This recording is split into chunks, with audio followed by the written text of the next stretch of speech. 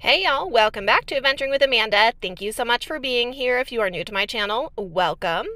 Y'all, in today's video, I am telling you about the Shootout Arena RV Park in Tombstone, Arizona, and how we found the location, how it was, and all about it in case you are interested in camping in the Tucson area, whether you have an RV or you're a van lifer um, and just want to stay for a couple nights. There's not a ton of BLM land around that is close to Tombstone, so Maddie Van Halen and I opted to stay at this RV park, which is right outside of the main drag on Allen Street in Tombstone. There is day parking for, I believe it's $4, and then right down the dirt road, you can stay for $10 a night at the Shootout Arena RV Park. It's basically a big dirt lot. It is dry camping. There are no hookups. There aren't even dumpsters. So you need to be prepared for boondocking when you arrive. But we had a great time. It was so much fun to stay close to camp, and I will tell you all about it.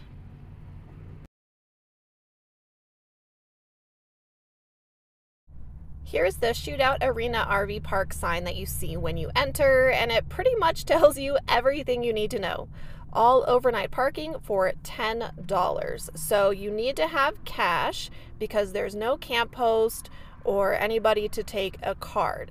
So what you do is you come over here to this drop box and you take an envelope. There are also pens. Oh, sorry, Wynston's coughing. You okay, Bubby?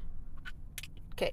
You take an envelope, you put in your money, you enter all of your vehicle information, and then you drop it in the Dropbox. Then you are good to go. As you can see, like I said, it is a giant dirt lot. There's nothing to it, but it's so close to town and worth the $10 because it's like a three minute walk to Allen Street. It is nice and quiet down here, and it worked out really super well. We found this RV park on campendium.com. There's also an app. It's listed on iOverlander as well and Google Maps. So there are lots of different ways that you can find campsites, but I typically use Campendium. It's cool because you can actually see the Tombstone Courthouse from here and hear some of the fake gunfire from the shows during the day. And that's something to keep in mind if you have dogs that might be afraid of loud noises.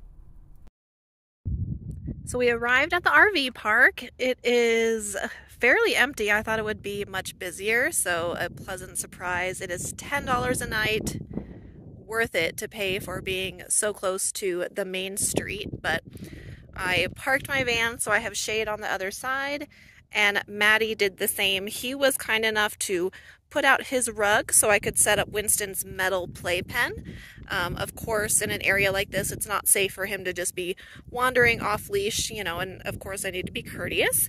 So I have his big metal playpen set up, and we are just hanging out, gonna enjoy the evening, and then tomorrow we will spend the day in town. One thing that's nice about it being fairly empty is I have space to put out my solar because there aren't people right up against us, which is nice. So we can kind of spread out a little bit. But we hit the area after the tourist season. So it was fairly quiet in town and here at the RV park. We didn't even have to really worry about generator noise, which was an absolute perk. bunch of big rigs pulling in uh, this evening, but what's nice is that we're kind of up on this little like hill thing where only small vans can park or small rigs, which is like so nice. Uh, another one of those benefits of having a small rig, and we're right by the entrance, so we know that they won't park by us and be loud, which is really awesome. It's the morning of us actually visiting the main street of Tombstone, and as you can see, it didn't really get too crowded last night. So I went ahead and put out my Yargo solar panel to charge up my Jackery since we're going to hang out for a couple hours this morning. before we go see all of the sights. I moved Wynston's pen into the shade so the sun's not in his eyes, and I'm working on cleaning up the van before the day starts. The sun started to move a bit, so I put Wynston's tapestry over his playpen. The sun definitely bothers his eyes at times, and it's a little bit warmer today, so now he has shade. And I got out his roller carrier because that's what I will be using for him in town so he can rest and relax.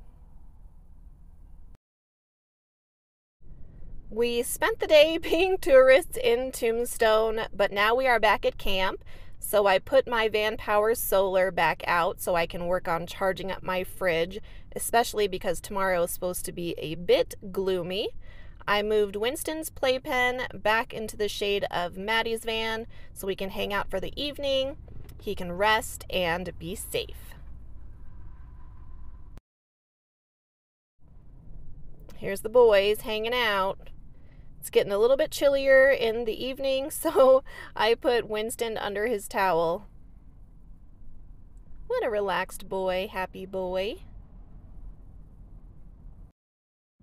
So we just left the uh, Tombstone RV park, but we are still in Tombstone. I pretty much ran out of clothes, so I had to come to the laundromat. So Maddie and I are both doing laundry. There's a, a little laundromat called the Tombstone Fluff and Fold here literally three minutes away from the RV park. So $2 to do a load of laundry and $1.75 for the dryers. So have our laundry going right now and it's right next to a Family Dollar. So I just walked over there to pick up a few things. And um, so now we're just chilling using the opportunity to charge up my power stations. It's going to be chilly. It's very windy today and gloomy, so I won't have an opportunity to use my solar. We are also moving camp. So yeah, just kind of getting all this stuff done. I feel better about doing my laundry. My van is an absolute disaster right now because um, it was so windy this morning and I had to focus on getting everything like in my rooftop box. So I just kind of threw everything in here because I had to do laundry. So um, I actually might get in the back while I wait and do a little bit of cleaning up. So uh, Wynston is, hi, yeah, resting as I want him to do. And this is the plan. Our next camp is about 50 minutes away, and I also need to stop at the post office to mail out sticker orders. Have a bunch more to mail out, so I still have plenty of Adventuring with Amanda stickers for only $5 available. Link in the description, free shipping, of course. They keep coming in and it really helps me, you guys, especially since I just had to buy a tarp pole for my lift gate as well as new shocks. So uh, any support really means the world to me. I'm very grateful for it. So let's continue on with our day.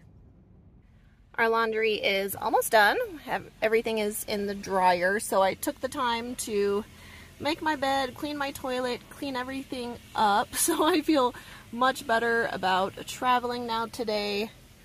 Wynston is resting. We're just listening to sports radio because it's Major League Baseball opening day, which I'm stoked about. So that's what we're doing while we wait for our clothes to finish. I am so happy we're going to have some clean laundry. Since no one's in here, I figured I'd give you guys a quick little glimpse of the Tombstone Laundromat. It's small, but it's cute. Um, it's in very good shape, so happy that it was so close to camp. I love these old orange chairs that remind me of a bowling alley. but they have um, dispensers and change, and if you want some candy, 25 cents.